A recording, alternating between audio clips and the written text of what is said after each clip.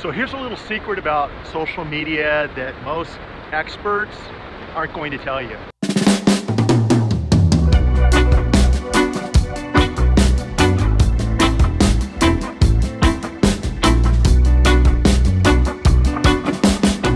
posting content on a consistent basis, that's not what social media is all about, you guys. That's the most basic level of marketing and branding, is just posting on a consistent basis. It's kind of like being quarterback in football, whether it's Pop Warner, high school, college, or the NFL.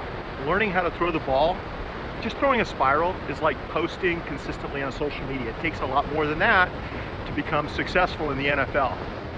You have to learn how to read your audience. You have to learn the personality of each platform, of each team, what buttons to push. You have to engage. You have to be able to adjust. You got to be smart with how you interact, with when you post, with what you post about on social media. That's the difference between picking up a football at the age of six and being an NFL All-Pro Hall of Fame quarterback by the time you're 30. It's this.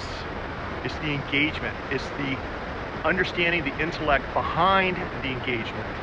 It's the social aspect of adding value, engaging, making a difference, and caring. You do that on social media after you post consistently on a daily basis. You do everything else that I'm talking about above and beyond just posting, and you'll be setting yourself up for success on social media.